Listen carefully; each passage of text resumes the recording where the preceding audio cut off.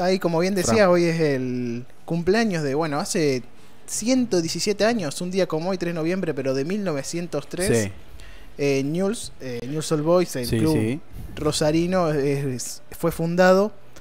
Y la verdad que son 117 17 años de historia. Ahí Mati está pasando imágenes de los equipos campeones del último año. Seis veces campeón de torneo local. Es el equipo del interior con más títulos del torneo local.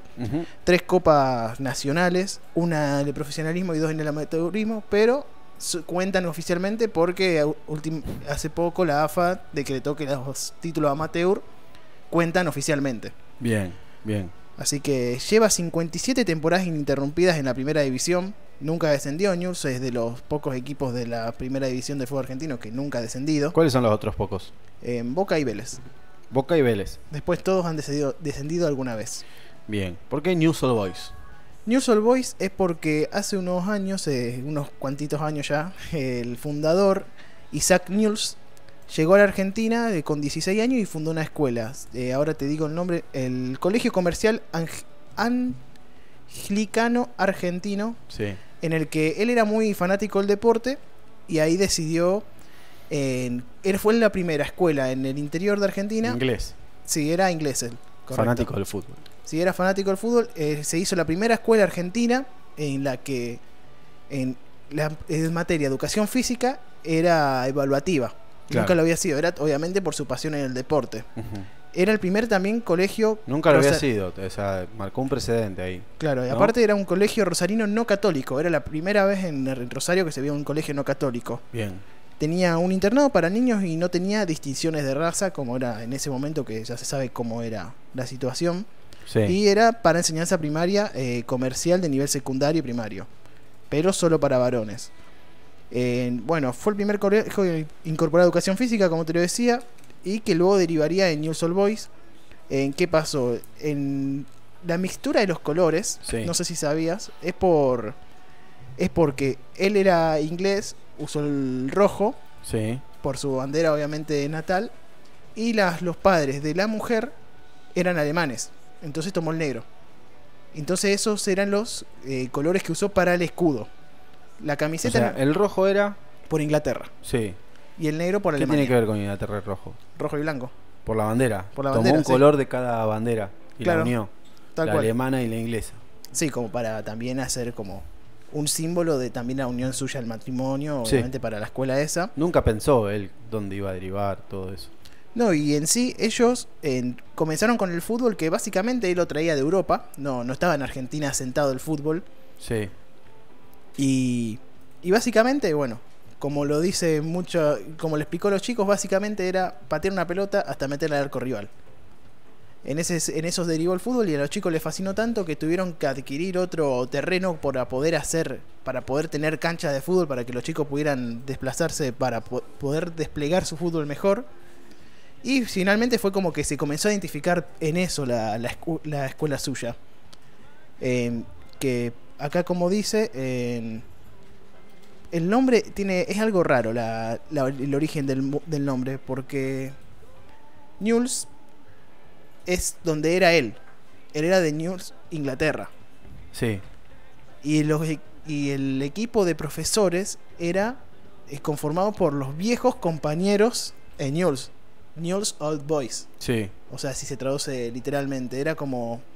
Era medio rebuscado el nombre. Los viejos muchachos de Newell's. Claro, si sería la traducción literal, sí, sería algo así. Entonces, en ese La, lado palabra, la palabra Newell's, entonces, es la locación donde era él. bien. De Inglaterra. Claro. Tal cual. Mira vos. ¿Qué es un pueblo, una localidad? Sí. Sí, en este momento no sé exactamente cuál es A ver. La, loca- la locación exacta. La cuestión es que realmente eh, de ese momento, bueno, comienzan ellos a jugar y solamente como no había rivales en el equipo en Rosario, Sí.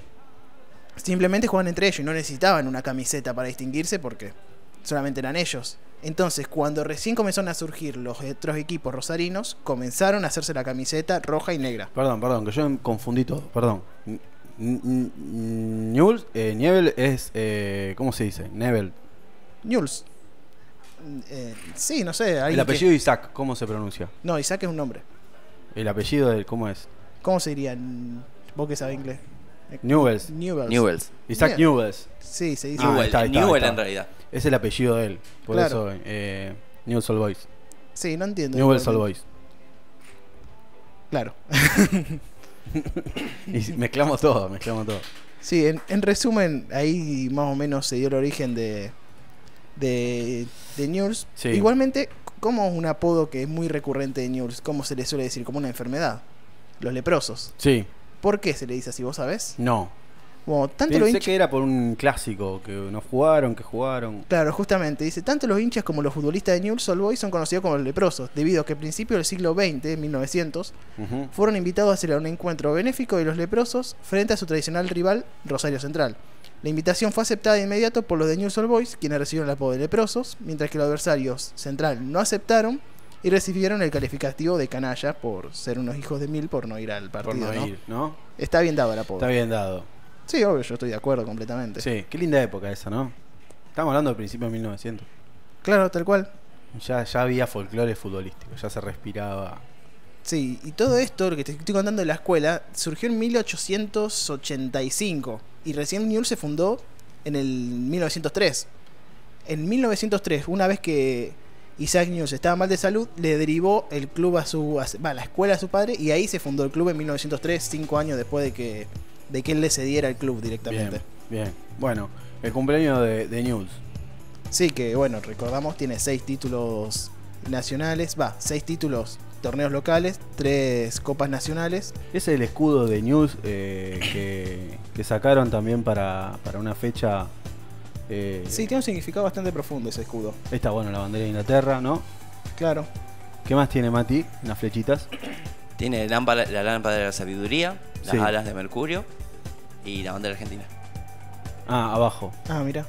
Bien, bien. Bueno, era también eh, un escudo que Sí, y, a- y- no sé si usa- usaron o lo sacaron ahora para.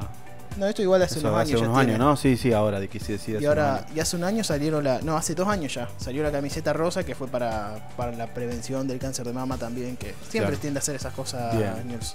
Bien. Que ¿Ya hace jugó pocos- News este fin de semana? Sí, no le fue muy bien. No le fue muy bien. No, perdió 3 a 1 con Talleres en Córdoba. Igual ya estuvimos hablando un poco de eso en Bueno, 94. minuto En, re- 94. en resumen, eh, me parece que era un News con jugadores muy grandes que no supieron no supieron coordinarse, pareció. Pero bueno, Central ganó. Central ganó ayer. No 2 lo pude 1. ver igualmente. Ganó y con juventud, al revés, me parece.